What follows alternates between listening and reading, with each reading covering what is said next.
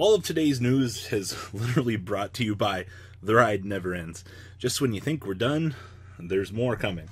So, first up is number 76, Gladiel, the Melody Lumestra. Alright, so first up, this is a Link 7.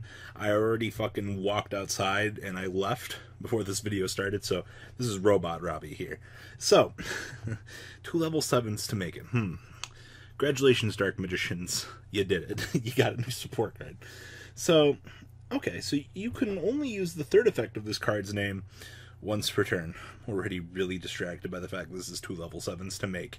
So, this card's attribute is also treated as the same attribute as its materials. Well, fuck me. goes Gozen Match. Congratulations. Uh, this card's getting forced off the field. We automatically have a counter to this. It's called goes Gozen Match. so, alright. Uh, cannot be destroyed by battle with a monster with the same attribute as this card. Also cannot be destroyed by the effects effect monsters with the same attribute as this card. Okay, so that's pretty cute. We have inbuilt protection.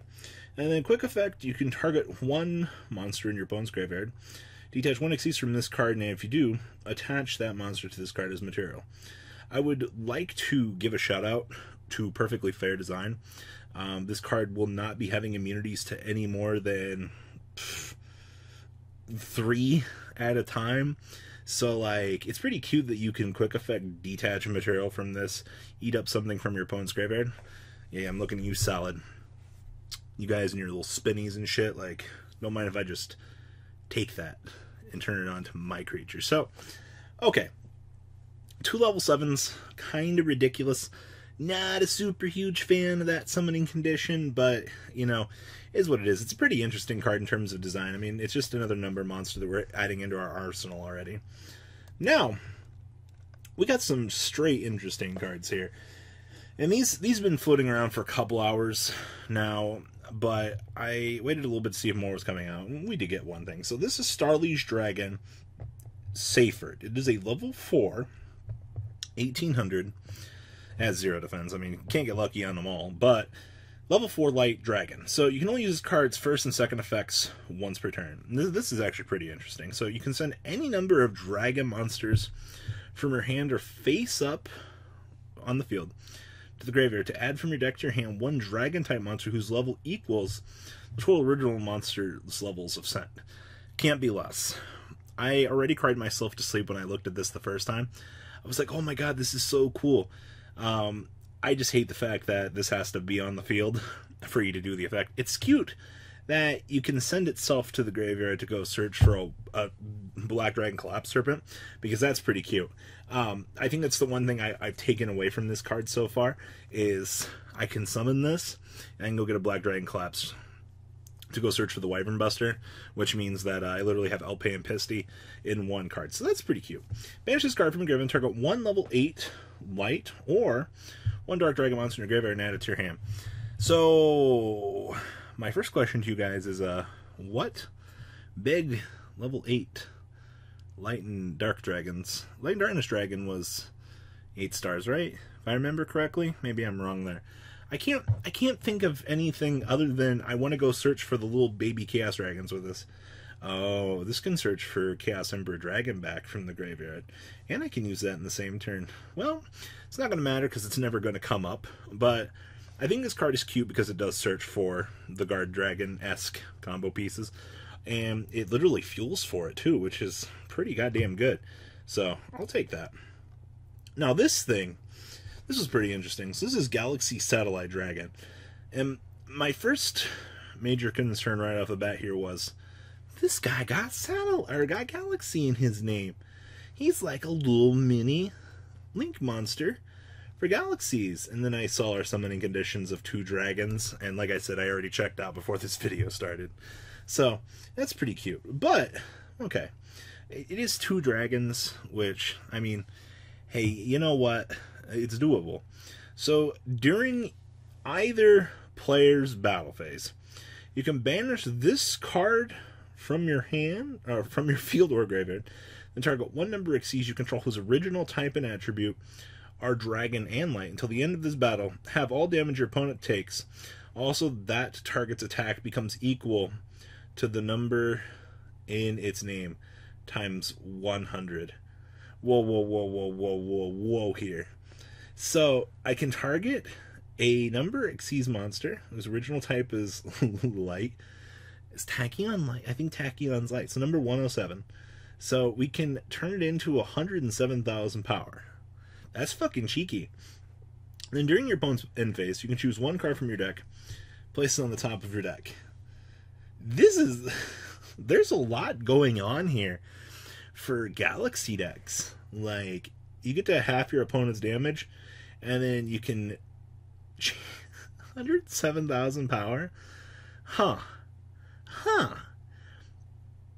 But is that easy to make? That's the question of the day.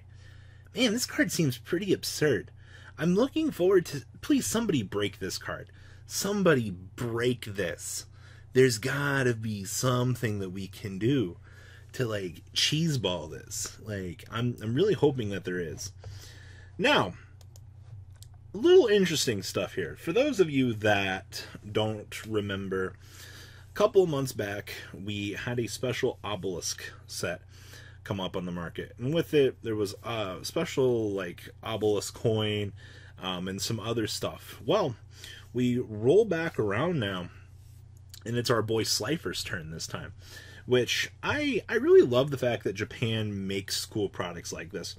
Um, unfortunately, TCG side, we never get nice things like this. I really wish they would pull a page out of our book and make something exclusive for YCSs. Come on, guys. Like, you've got cool merch that you're selling on the flip side over here.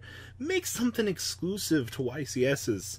Like, make people want to go. Make a deck box for an event. Make, like, a small limited run of them. Be like, put a Yu Gi Oh character on it. Magic did this. Like, Star City Games, come on now. I, it can't be that expensive to do something like this. I don't know if they'd sell well. I think it's my major concern with doing something like that. But, I mean, you would spend a little bit of something on the market, and it wouldn't be that hard. I, I guess like dedicating them to vendors to sell might be an issue, but like I don't know, it's the fun little ideas like that. So this Slifer set. So you get the extremely cool Slifer mat, which looks absolutely beautiful. Uh, I'm not exactly sure how I feel about this. This is the uh, Slifer the Sky Dragon coin that comes with it, and honestly, I I don't know if I think the Slifer looks a little bit too 3D on this. Um, I don't know if anybody else is turned off by that fact, but there's that. Now this, someday the TCG will get 20th anniversary foiling. I've been waiting my whole life for this.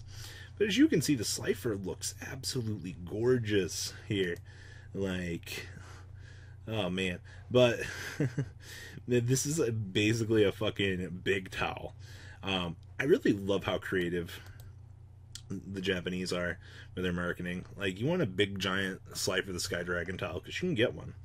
Um, how about a uh, drinking cup? Would would this would this make you guys happy?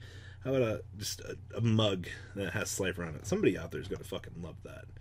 Now, I I honestly think that that's fucking cool.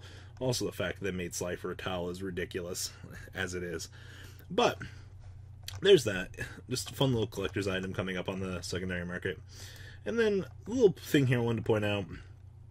We have new official sleeves rolling out here. Uh, look how cheap these are.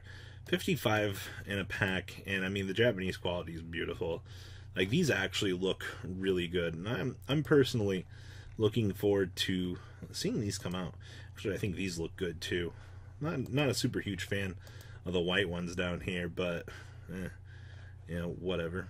So, that's all we got for this video. I do want to say, this card, I'm intrigued by this. There, there has to be something. And like I said, in the comment section, guys, please do leave a comment. Tell me what we can do to break Galaxy Satellite Night.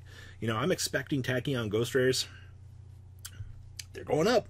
I'm pretty sure they're going up even at the point in making this video right now, which is already ridiculous because that's how fast our secondary market works. Snap your fingers, shit's already gone. So please, down there, leave a comment. Tell me what you guys think. If we got some cool, crazy ideas that we can do to mess around with this, I'd like to hear them. And well, guys, I'm out. The ride never, well, truly ends. Thank you, patrons. Without you guys, I don't know what I'd be wearing in these videos. I might be a truffle shuffle incident all over again. Guys, please also check out VanCole40 for some awesome Vanguard content. Some other interesting stuff you might find up here on the left or in the description as well. Thanks for watching.